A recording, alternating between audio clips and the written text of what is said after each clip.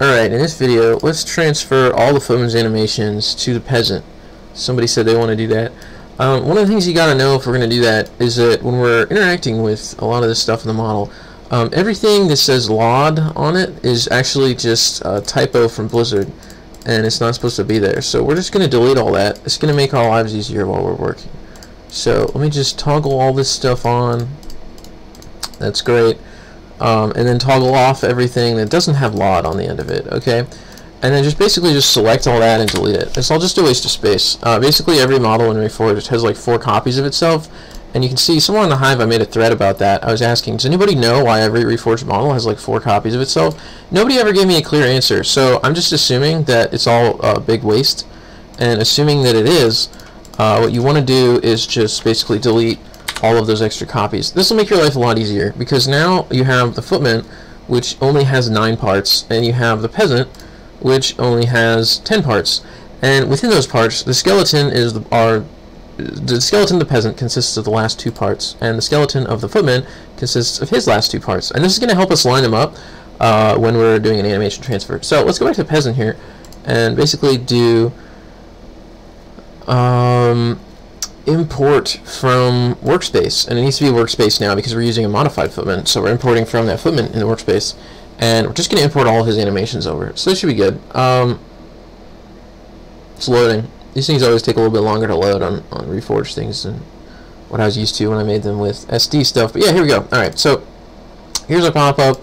Uh, all this thing with this. Just click leave uh, so then you get to animations. Um, animations, we're thinking we want to just take all of them, just every single every single one of these animations. It's cool. So we're definitely going to use motion from all as much as possible here on uh, all these bones. But uh, obviously there's going to be some stuff that might go wrong with that. Uh, with these animations, we probably do want the sounds and footprints. You know, I think some people have joked about this before, but obviously footprints are really important. I would say don't import the attachment points because the attachment points generally um, probably are important to stay uh, as they were on the peasant model so that they're in the right places and it is relative to the model shape. So we're just going to take these event objects, which is like sounds and footprints, and then we don't want collision shapes or portrait.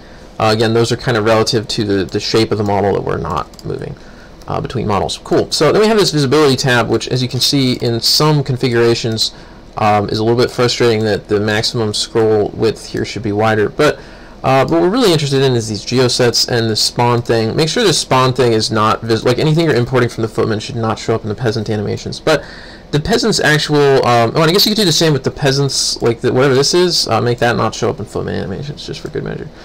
Cool. So we have the peasants geosets here, right? And uh, the the main thing is you want the last two to correspond to the last two of the footmen. So Geoset 9 on the peasant, and I really need to upgrade this to show the names. 9 on the peasant here, this bottom one, is his like part 1 of his skeleton. And 10 is is going to correspond to 9 on the footman, which is the last part of that skeleton. So now we kind of have those corresponding stuff set up. Uh, the other problem that we're going to have is gold and the lumber and all that business, and we probably don't want that showing up uh, for the peasant. So basically, if you think of these by number, right, one, two, three here are not our guy, and then four, five, and six are these, uh, four, five, and six are basically like the carryables. So what I can do is just shift select all of them and just say for all of these um, carryable things, they're going to be not visible. So our goal there is just that we're going to have the peasant with no skeleton, um, and that's going to show up in all the footman animations. So when I click finish on this, I would anticipate that it's probably going to work, but we're going to have the problem with the hand that we had in my last video. So let's check that out. Um, now if I go down to the bottom, you can see Cinematic Walk 1 is the last peasant animation. Um, then beneath that, we have Stand 1 from the Footman. And so basically all of these Footman animations, you sort of see the same thing going on, that they're pretty much all working, but his hand is messed up because his hand is encoded in a different way in the peasant than it is in the Footman. So you sort of have a couple of choices here, right? If your goal is to have him only doing footman animations, you could remove all the peasant animations and fix his hand really easily by uh, basically linking the skeleton in the same way as the footman skeleton.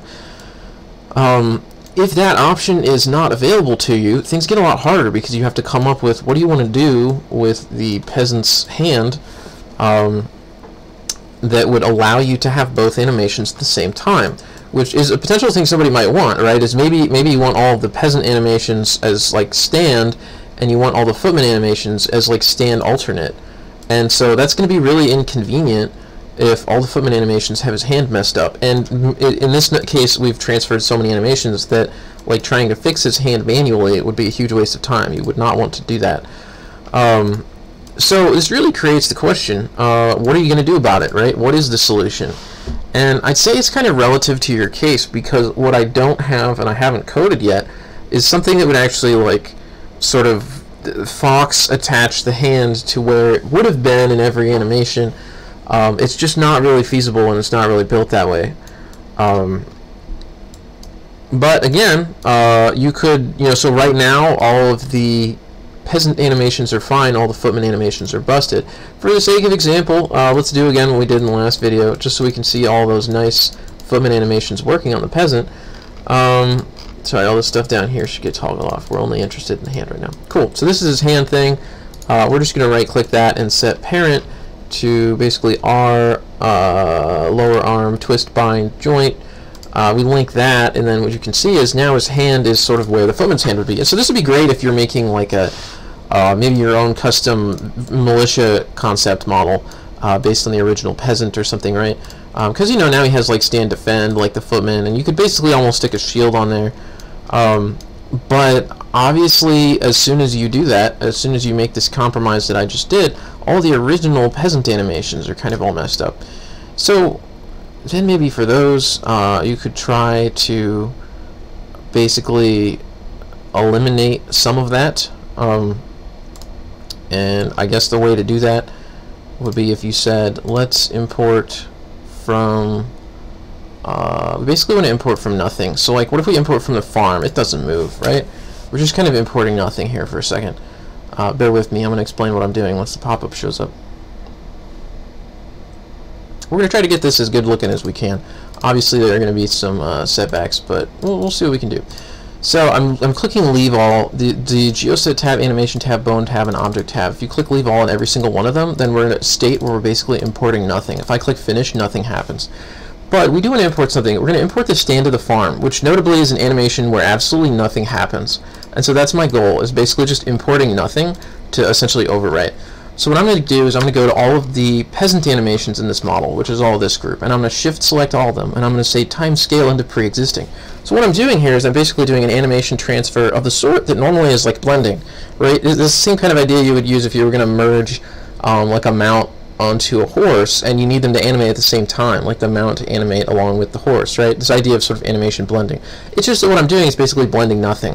I'm just kind of saying take the stand animation of the farm, which is doing absolutely nothing, and use that to overwrite all the data on um, all this peasant information. So then what we're going to do is we're going to take the farm root bind joint, which I'm almost sure doesn't move at all, and we want to stick that basically on the peasant's right hand where this problem is. Um, so this is going to be, we have like all this arm twist, whatever, and then we have bone hand right. And I'm pretty sure bone hand right was that root thing. Let's make sure of that um, in terms of where we put that, spine, chest.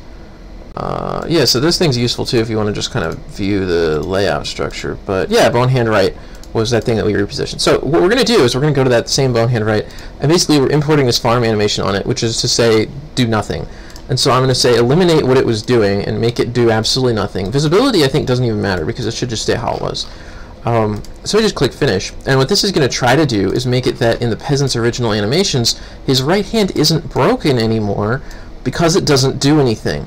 And so in that sense, like you can tell, it's a lot closer to how you'd think it should be. There are just going to be some instances where it doesn't perfectly align with, like if you watch right here, where it doesn't perfectly align with the wood, because his hand would have previously been moving slightly where now it isn't. But we've sort of linked it similar to how the footman was designed, that now his left hand is linked onto his left arm. And so you don't really have this problem where it'll just float away and be all nonsense. So now most of those original um, peasant animations are like acceptable quality. You might notice if you play them in slow-mo and like freeze frame in the middle of some of these animations that where his hand was previously around the wood, now it's it's not quite. It's it's uh, slightly different linking, but really, for the most part, for most of these animations, um, we're we're sort of at, a, an acceptable close enough stage that I would say if you're like zoomed out from like an RTS camera, these are probably going to look fine. And now that we've done this, and now that we have this, this different peasant structure and the original peasant animations, the imported footman animations are all also going to look fine and animate in the way and the style of footman. So this is a way that you can fix sometimes when you have that kind of animation bug after a transfer, but it's definitely dependent on the footman, right? Um, there are cases where if you do the same thing, uh, things might be annoying and not look as good, whereas in this case, uh, it really seems like almost everything this guy does is looking just about fine. Um, yeah. So that's pretty much an example of, uh, of how to get a peasant that has all of the animations of the peasant and the footman. And obviously if you use this in game it's not going to look very good because he's going to be jumping between the animations, right? He has like stand one peasant and he has stand one footman and it's weird to have both. But the, the next step I think that you would want to do here would be to go to the sequences and like go to the second half, go to all the footman ones and make it like, you know, just put alternate in here or something, right? So you have a stand alternate on all the footman animations. So um, yeah, basically you could do that. Uh, and then pretty soon you'd have a workable model you could use uh, pretty easily there. Uh, but yeah, I think that's pretty much that's pretty much how you do that. So good luck, happy modeling.